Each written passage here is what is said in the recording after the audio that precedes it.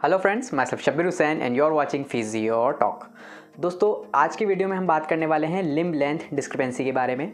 आज की वीडियो में हम आपको बताएँगे कि ट्रू लिम्ब लेंथ डिस्क्रिपेंसी और फंक्शनल लिम्ब लेंथ डिस्क्रिपेंसी में क्या फ़र्क होता है और साथ ही आपको बताएँगे कि कैसे हम लेग लेंथ टेस्ट की मदद से आप पता कर सकते हैं लिम्ब लेंथ डिस्क्रिपेंसी को। लिम्ब लेंथ डिस्क्रिपेंसी को मेज़र कैसे किया जाए, वो भी आज की वीडियो में हम डिस्कस करेंगे। तो चलिए शुरू करते हैं आज की वीडियो को।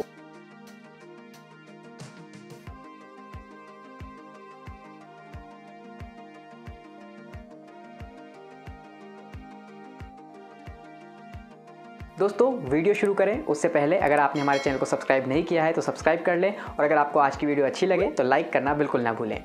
दोस्तों लिम्ब लेंथ डिस्क्रिपेंसी दो तरीके से होती है। पहली, जिसको हम बोलते हैं ट्रू लिम्ब लेंथ डिस्क्रिपेंसी और दूसरी होती है फंक्शनल लिम्ब लेंथ डिस्क्रिपेंसी तो जो ट्रू लिम्ब लेंथ डिस्क्रिपेंसी होती है, वो होती है हमारी एनाटॉमी की वजह से. बोन अगर शॉर्ट हाइट में है फॉर एग्जांपल अगर आपकी फीमर छोटी है या टीबिया छोटी है तो उसकी वजह से जो लिम्ब लेंथ डिस्क्रिपेंसी होगी, उसको हम बोलते हैं ट्रू लिम्ब लेंथ डिस्क्रिपेंसी या एनाटॉमिकल लिम्ब लेंथ डिस्क्रिपेंसी जो फंक्शनल लिम्ब लेंथ डिस्क्रिपेंसी होती है, वो होती है आपके कंपनसेशन की वजह से या तो पॉस्चर या एबनॉर्मल पोजिशन की वजह से. तो अगर आपको पता करना है अपेरेंट डिस्प्रेंसी को तो आप कैसे मेज़र करेंगे?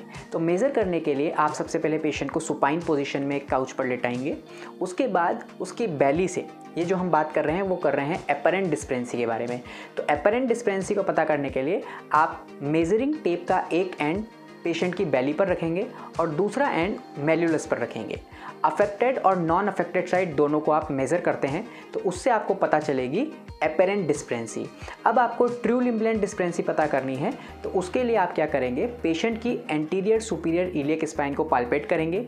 ए को पालपेट करने के बाद मेजरिंग टेप का एक एंड ए पे रखेंगे और दूसरा एंड मीडियल मेलुलस पर रखेंगे। और ए से मीडियल मेलुलस तक की जो डिस्टेंस है, उसको आप मेज़र करेंगे। इसी तरीके से अफेक्टेड और नॉन अफेक्टेड साइड दोनों को आपको मेज़र करना है, जिससे आपको ट्रू लिम्ब लेंथ डिस्प्रेंसी पता चल जाएगी।